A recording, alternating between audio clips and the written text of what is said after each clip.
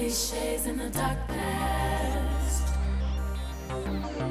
Toast to cliches in the dark past. Oh, and love, oh, love. I'll be